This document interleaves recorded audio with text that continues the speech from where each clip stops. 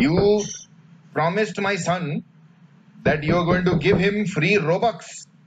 And because of your free Robux promise, he stayed up till 2 o'clock night and he watched all your live streaming.